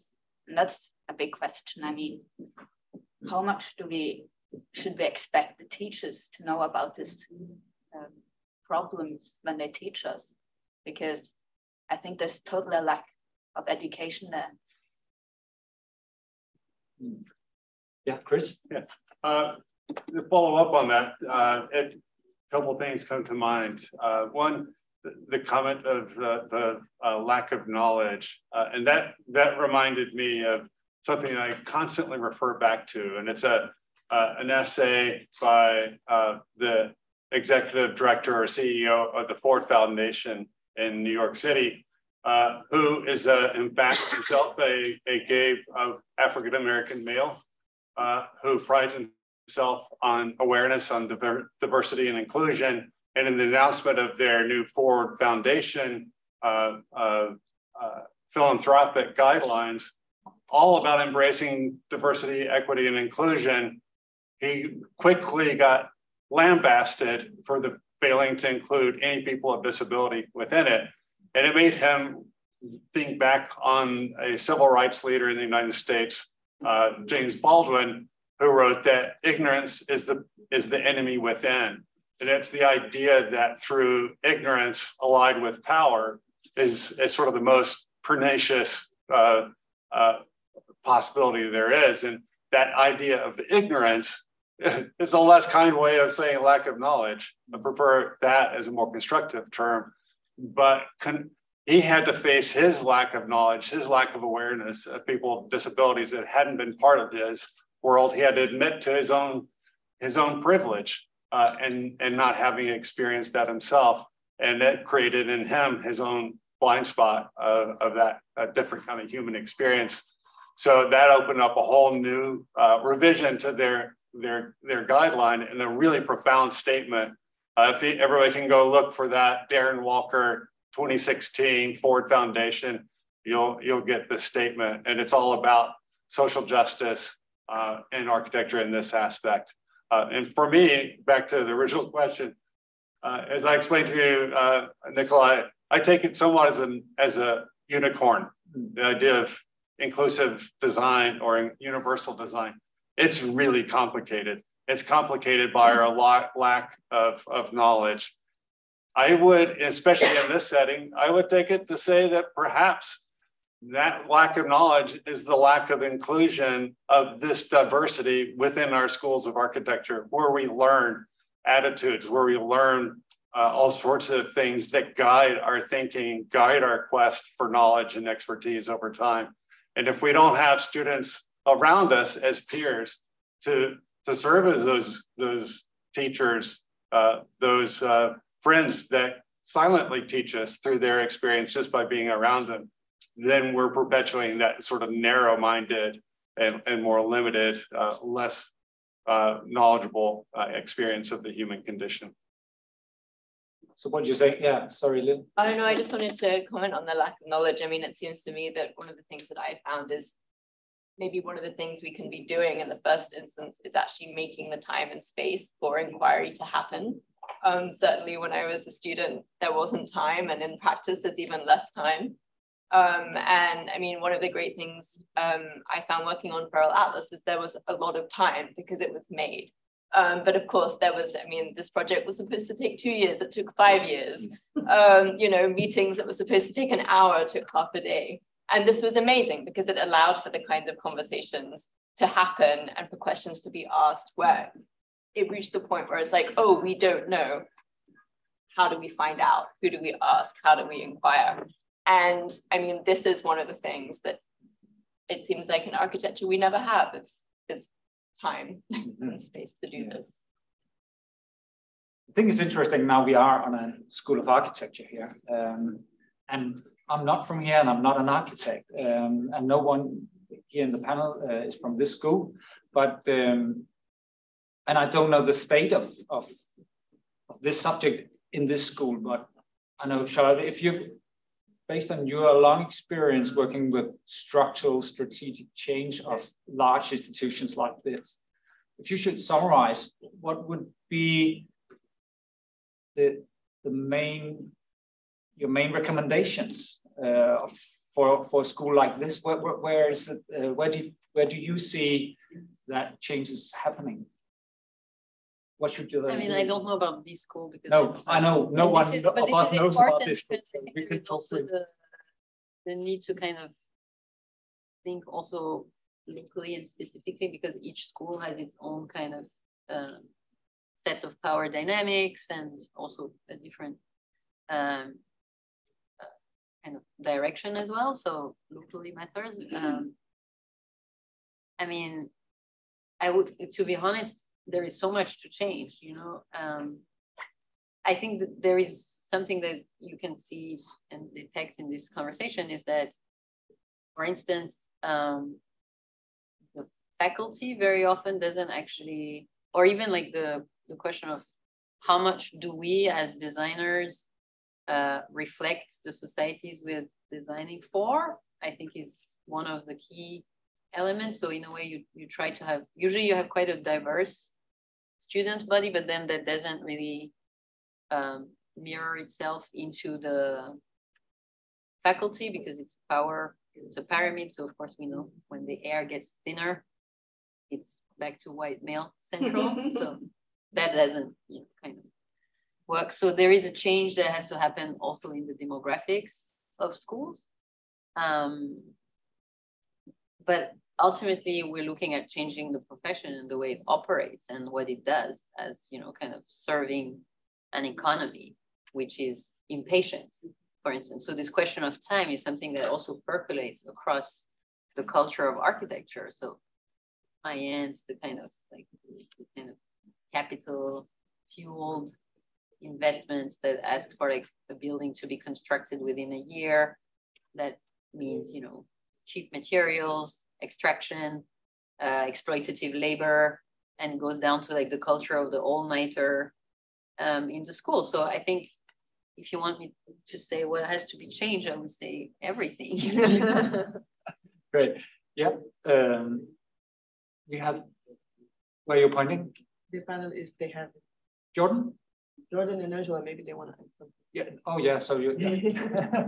but Jordan, you're working with uh, um, in your think tank, working with the teaching as well, um, and and there's accessibility uh, at school at schools of architecture.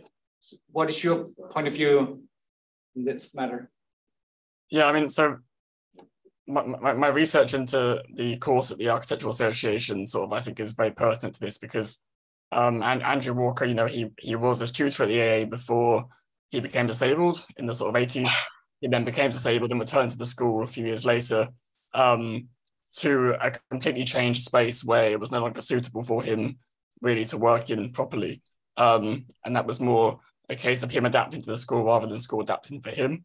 Um, and I think what that speaks to is the fact that the reason we have, for example, so few disabled academics or tutors or staff or anything is because a lot of the time we are expected to do a lot more labor in these institutions than anyone else in order to, to gain access or to work on the same level. Um, so I think it's as much a spatial thing in schools as it is institutions improving how they can support staff to get into these roles and while, while they're in them as well. Um, so that's that's sort of what I learned from the AA. Um, and then yeah, you mentioned the think tank. So we're starting this in um, in November, um, and it's really sort of trying to bring the things we discussed today to the forefront of the students' um, knowledge. Really, what, what can they delve into to understand disabled communities, disabled needs in relationship to cultural spaces? Um, and we know we're looking at the work of Aimi Hamraie over in America um, as well in terms of how you map access, how do you understand it, how does it become a, a collective process rather than just put on the um, shoulders of disabled people themselves. Uh, how do we engage collectively through that labor? Um, and I think that's another important point too, is that everyone should be learning about this. I mean, I, for my education, never had a specific lecture conversation about access, which I think is um, insane, really, um, through five, six years of education. Um, and the only time I did start to focus on it was through my own um, experiences. Um, so schools have a lot to do. Um, and you know that this network we're trying to establish is hopefully trying to address that as well. Yeah, thanks. I don't know if there are actually anyone from the school here who wants to make a comment on this. Yeah. I, I found it uh, very interesting to hear you talk across the many different um, perspectives that you're bringing together. I thought your slide with the Swiss men, it's a very wonderful caricature, but it's also very funny. Um, and I think maybe what's at stake here is really a question about um, the practices of architecture. What those Swiss men have been taught is that they know what architecture should be. And what Magda and all of you, but Magda very clearly says when you talk about your uh, prototypical classroom, is that we cannot know. And we should not assume to know. And this changes really our role as architects from being someone in an isolated chamber designing out the world and giving it in those men now they're presenting their model mm-hmm. and, and sort of giving it to, to the public, but rather to be engaged. And this, so what needs to change is both maybe the politics, the hierarchy, but also the practices that we're somehow, we don't leave the building, but the building is something that is continually constructed, continually programmed. Can I just pick, yeah, pick up on that? um, to Metta's point about, I think one of the things you talked about that there's almost a delusion there that we think we know, and that is a very dangerous space to be. And I think one of the ways to go back to what Charlotte was saying about curriculum, I think we need to engage with language. I find that as a teacher, how we define things and how we speak about certain things makes a huge difference. So for example, diversity. Chris talks about Darren Walker defining diversity through his lens as a gay African American man in the United States leading a philanthropic institution. That is a certain specific perspective. But when you say that that is a diversity inclusion initiative and delude yourself that you have been completely inclusive, only to realize that there's a whole millions of people that you excluded from that conversation. So I think language can be very dangerous, but it also can be very, very liberating. Um, and the reason it's important is language relates to legislation and policy and codes and standards. So for example, when you say a building is accessible, what do you actually mean? Typically what you mean is that it's code compliant and that it's ticked all the boxes and it's legally allowed to exist. But as an American colleague tells me, code compliance really is only as bad as your building is legally allowed to be. So I think when we think talk about compliance with our students, we need to also layer on top of that a sense of responsibility that it isn't only to tick the boxes because legislation and policy and codes and standards do not include any of the perspectives that we talked about today. So there's obviously a gap, but at least as educators, we have a responsibility to inform our students that they have a responsibility to challenge that, that code compliance is not enough, that you need to make sure that you're responsible and you're creating something that's expansive. And when you say you're being diverse or inclusive or accessible, what do you actually mean when you say that? And how is it that you're engaging in that? And to Metta's point about practices, even our methodologies are very exclusive. So I've had clients that say, well, we don't have any autistic employees or we don't have any deaf employees. Well, that's because you ran a focus group around coffee for lunch and your autistic employees are challenged when it maybe comes to social uh, public speaking and couldn't join that focus group, or you did a focus group, uh, I don't know, uh, with, with text on the wall, and someone like Chris is not going to be able to read that text if you don't make it available ahead of time.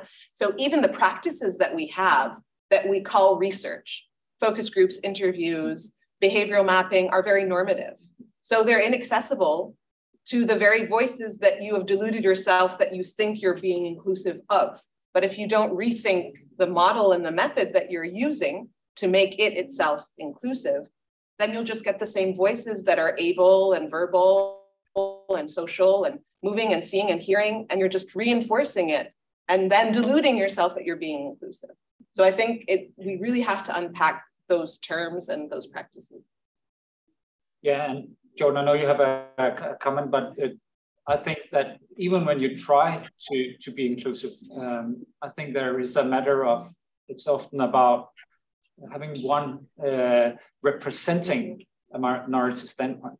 Uh, and and I, I, would also like some of you to uh, to reflect on that because how is it to be invited to to to um, um, to talk for a whole group group uh, in in these processes, and can we do it completely another way around? Um, uh, I think I think that's and and when it just to to make it even more complex when you you talk about this intersectionality, this intersectionality, you you also you also talk about its this uh, plurality of identities within one person. We are not just only one thing. And how do we deal with that? So if we have these mechanisms of inclusion and exclusions, um, it, it becomes very, very complex uh, very quickly uh, if, if we have to represent every kind of identity. So, uh, Jordan. No, I just wanted to quickly add to Magda's point about language here. And um, I was at an event a couple of months ago where Jos Boys, who some of you may know, who's a quite a prominent researcher in the UK, um, sort of spoke about accessibility and inclusion uh, as language and kind of criticized them in that they denote in a way this idea of a power structure, as in we include you or we give you access, which I think is, was a quite a poignant point for me to think about in that way because it's, it's terms we use today and, and generally in, in our work. Um, but to think of it in that way, it kind of makes us really challenge the, the power that, that those words have. Who is it that's offering access? Who is it that's offering inclusion? Um, and how do the people that are being given access and being given inclusion um, actually take agency of that themselves. I think Magda spoke of sort of do we use of or with or by. Um, I think those, those words are can actually be very important in defining that relationship. Okay, Ruth. I would like to connect to what Charlotte and Lily said um, earlier, um, because I think with all the different panelists, what has, has been said the underlying current is the power structures and that they need to be changed. And I think it's very often it comes as if the architect is in charge of everything, but we were talking about the time issue. We were talking about investment, interest, real estate, what have you. And in this respect, I would like to put a a question to Angela about these informal settlements, because basically you're talking about those who live there who have least power at all. And I'm wondering how they are empowered or how you work with this absolute um, imbalance, imbalance there and how you can potentially empower them in order to make a difference. Uh, thank you. So first, let me let me give you the idea that uh, when I talk about musseques, I'm talking about more than almost half of the urban territory in the entire country, and it is the same for the majority of the African countries. That's why every time people see an African city, all you see it's a mess okay? Because it's an urban context that not even us are fully aware of how it functions, of um, or how this social um, fabric, uh, not fabric form, uh, in terms of how people are related or connected to the territory, how they use it, how is this, um, uh, how, how, how is it possible for us to understand its nature, its foundations? And um, the, the, the, beginning of the reflection is how, if, if it was possible to have an inclusive design. And of course it is, because um, the answer the, the, the key word is diversity because we need to go uh, we need to to to think outside of the box okay? And inclusiveness has to be an approach based on the recognition of the diversity of the city. And uh, let me explain that. Um, the, when you see a musseque and this is something that needs to be mentally um, uh, um, put aside in our politician minds and even in our architect architects minds. It's the idea that those areas are to be eliminated from the urban fabric like something like a disease okay? And uh, the idea and the bigger question is how to include these musseques into the city. And the answer is to upgrade those areas. But the, the, the, the question is that we don't know how to do that. Okay. And um, since, let me give you an information because I think it is important for you to have it, that for the last decade, there has been a line of studies by African architects and urban planners about a contemporary African city. And we are creating as we speak, new instruments, new canons, and we believe that we are on the right path to initiate the change. And without a doubt, it starts by changing the curricular narrative because after more than 20 years of university uh, work as a teacher, as a researcher, I have no doubt that the answer to the challenge of African cities is not the language of Western modernity or post-modernity. We cannot use the narrative of Le Corbusier or Frank Lloyd Wright to address our cities. It's a completely different perspective, okay? And um, to include so it, the, the design prior to to to intervene is to uh, to understand, and after we understand that, okay, we can include. So this is my first reflection on the subject. I don't know if I made myself clear, because um, it is important for me to to to to to give you that perspective because the UN Habitat has this huge program about slum upgrading, and most of us are uh, um, are eating sushi with a fork and a knife. Okay, you need to use those sticks because otherwise, okay, you are going to eat, but you are going to make a mess. I don't know if I can make myself clear. I'm trying to use a metaphor because um, it's something that begins in the class how are we what are we teaching our future architects and urban planners and and um, anthropologists? How are, what are we teaching them? So this is my uh, my my first reflection on the subject and um, and that's it. As a first uh, approach to the subject. Thanks angela yeah, so we, if we need another architecture, we need new architects. That's really uh, at the bottom here. I would like to invite you all here to, to ask a question, or if you're sitting out there behind your screen and have a question, please, uh, please ask. Yeah, we have one down there.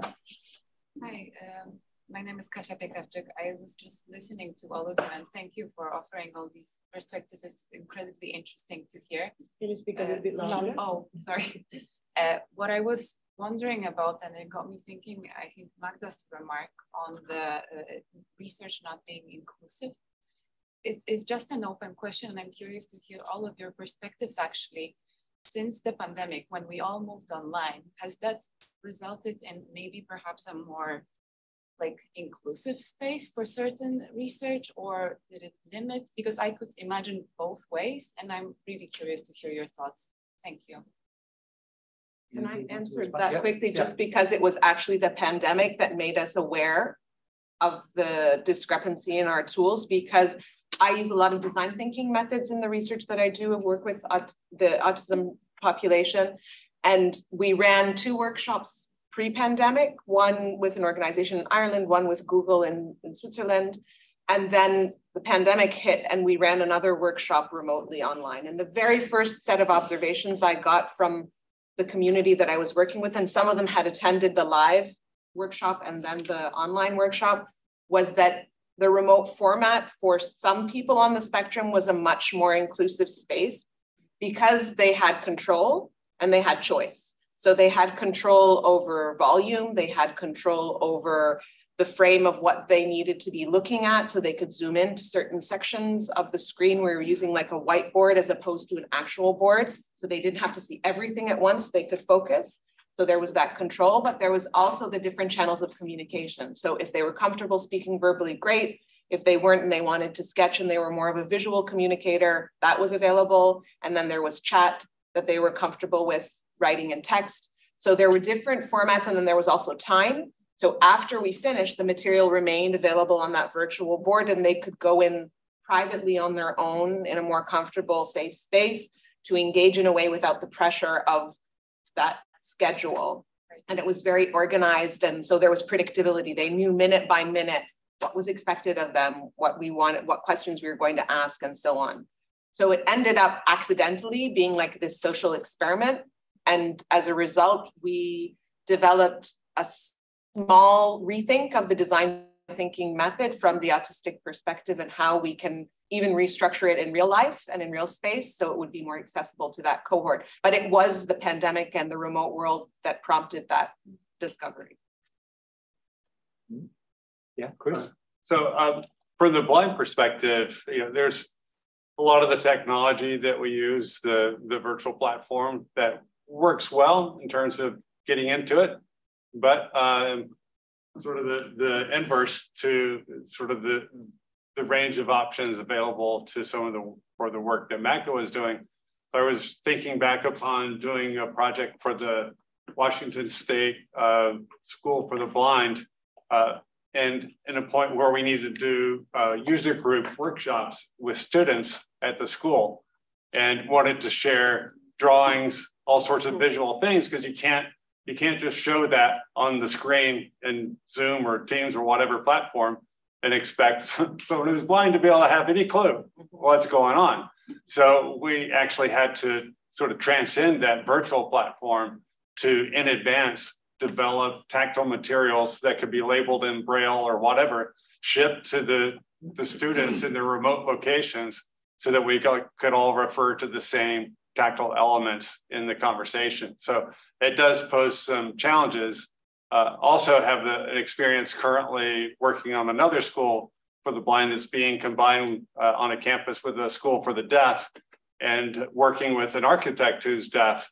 And, uh, and, and he's been mindful, of interestingly pointing out to me in the deaf community, they, they don't like using the Teams virtual platform because they only allow one or two uh, pin ability to pin a video up. And they need to have the screen of what's going on, the person talking, and they need to have their interpreter up there. So their interpreter needs to be pinned. So by the time they get to their basic arrangement, they've exceeded the number, the maximum number of pin frames to have up to, to be able to see. So, you know, it does pose some, some challenges here and there. It does enable a lot. I've heard from friends and, and accounts of people with physical disabilities being able to go to places, be part of social events and and classes and various things that they could never go to because those places weren't physically accessible, but they could get there virtually. So that was a, a benefit. Um, I, I can just jump in. Um, I think there was also, I mean, there has been a moment when we all went online where there were also inequalities that were exposed. Um, not everybody has access to a fast Wi-Fi reliable Um, not everybody has the right laptop.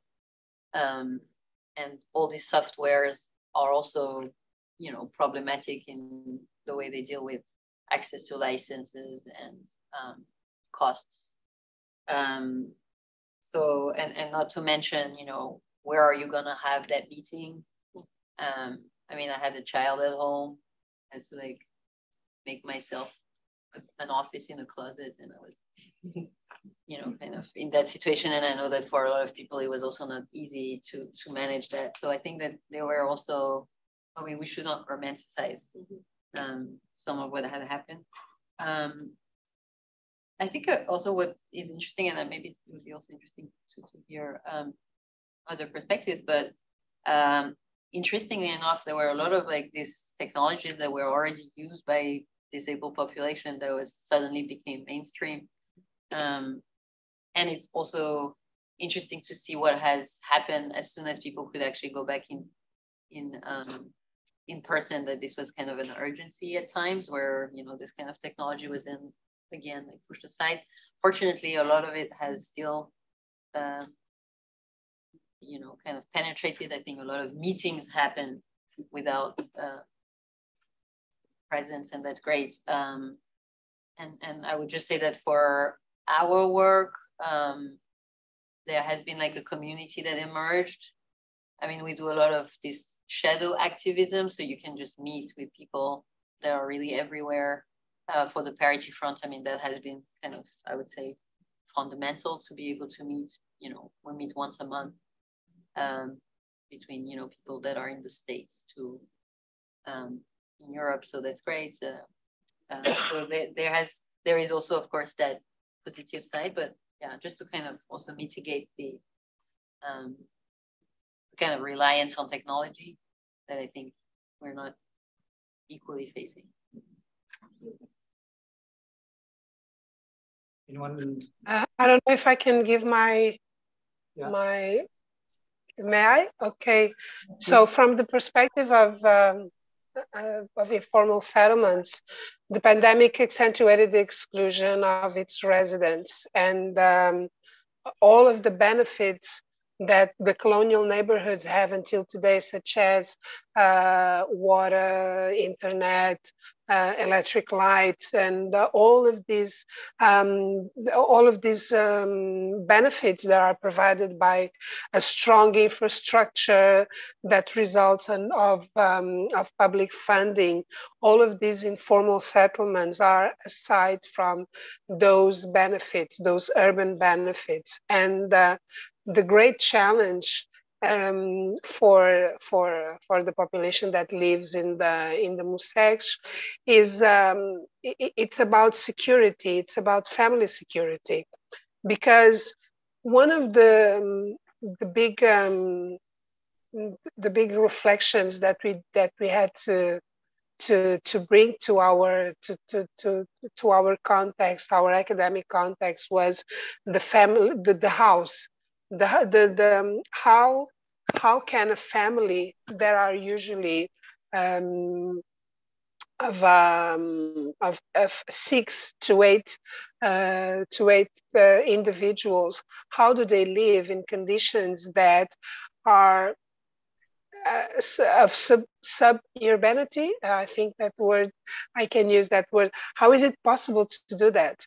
Because um, how can you contain uh, six to eight people indoors without a job, okay, without a possibility of doing uh, online um, um, online uh, uh work, okay, and uh, with this with a way of life that is essentially done outdoors because this is how the majority of our population lives. The, the the backyards the street it's part of the daily life. So when you when you take that with um, when you when you forbid people to, to to have access to that you are cutting not only its livelihood their livelihood but also their way of living and so the seclusion did not work because the population preferred to take the risk of the disease than to deal with the consequences of confinement.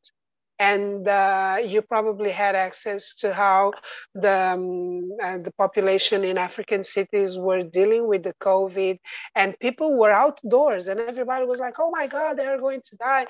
Well, God is probably an African one because we didn't. Okay, something was very good for us during the pandemic, and the rate of or the impact of the pandemic was extremely low, under 1%. And so by the time people realized that it was not that big of a risk in well of course in terms i am not uh, addressing the, the covid pandemic um, as something uh, that did not exist. I'm not a, an unbeliever.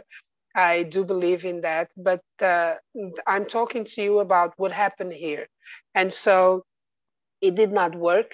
People um, did not accept that. And for us, the, the answer to that lies on how the houses are being done the the the the outdoor areas that people have inside their uh, not outdoors the backyards the need to have what we call quintal which is a place where people get together inside of the house. So how the house is designed this was the main the main um, um, the main the, the aspect that it, that was for us the more the most important for uh, to to discuss and um, which is very different from the European, from what you are saying. For example, it's it's uh, the other way. So 180 degrees away from the the, um, the the European consequences of the pandemic. It was mainly it was different, very different. Thank you. Thank you, Angela. Okay, uh, Richie. Yeah, I actually have a question for Anna and Tor. So after hearing all of this, do you have any tips like how how would you would like to to have these topics addressed in your education? What would be helpful for you? Yes, for sure. Um, I think it's a bit as Magda said earlier as well, and how you teach, uh, debunking who's the expert. The teacher shouldn't be the expert actually, so that you get the actual experts in facilitating different kind of inclusion. So it doesn't come from the privileged point of view all the time. Because all of my teachers, at least males, 50, 60 years old, like the standard package, everything. And I have never had it as a topic. I've only learned about inclusivity through my own research and through the building code, which is a very poor teacher. And I think that need it needs to be rethought how you address education uh, from not a, the, the teacher is the one responsible for teaching. Uh, he's just a facilitator also in the curriculum and what you include and not include. You can choose some stuff, but make sure that you get different perspectives uh, and other experts in the field early. Yeah. And do you want to add to that? Yeah, I think maybe there is something we can do when it comes to access to knowledge. Like, of course, we have people who know, and maybe we should like get them to teach us more.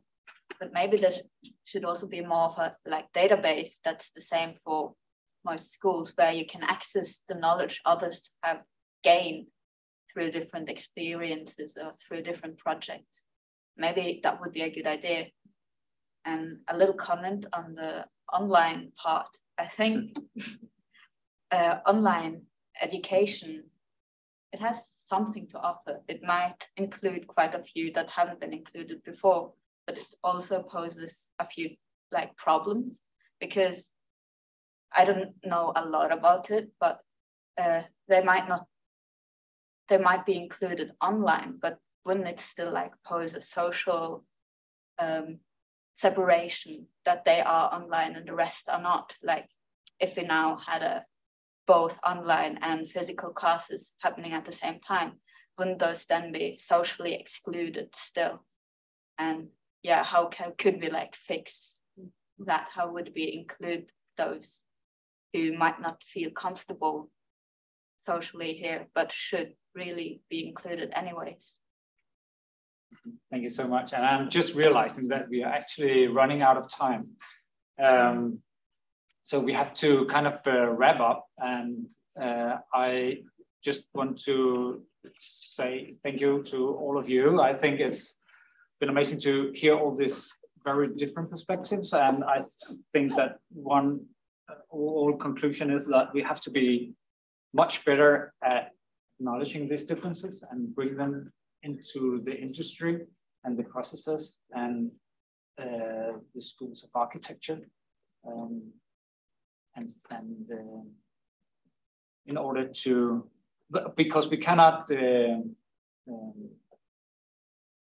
we cannot, you know, these dynamics of exclusion and inclusion will always be there as long as we are so varied and, and, different people. Um, so we just have to be much more aware of them and, and how to, to, to work with them. Um, it's been very inspiring. We can go forever, but um, but we have to be out of here because it's a festival and there's another activities going on here in a very few minutes. So lastly, I will just give the word to, to Ruth and thank you all for, for joining us. Um, it's been wonderful to, to be part of this um, again. Ruth? Again, thank you very much for being part of it. Um, I was told that there was some kind of discrepancy about the um, meeting time for the lived experience workshops, what we put up here and what is in the in the program. And I would just like to to um, confirm that the program um, is the when we says when we meet precisely. Also, after the um, the the sessions, we want to share our impressions again in another very informal talk. So you're warmly invited to both.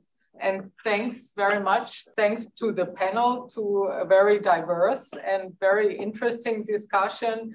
And again, uh, the idea was to kind of make the path for the UIA Congress um, in Copenhagen next year in July. So I really hope that I will see so many of you again next year. Thank you very much. And thanks to um, Angela and Jordan who, um, who attended online. Thanks. Thank you. Thank you. Bye-bye. Thank you very much. See you later.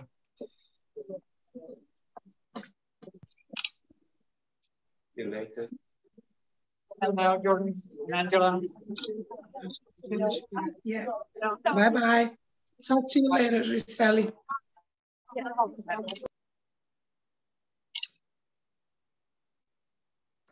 Out.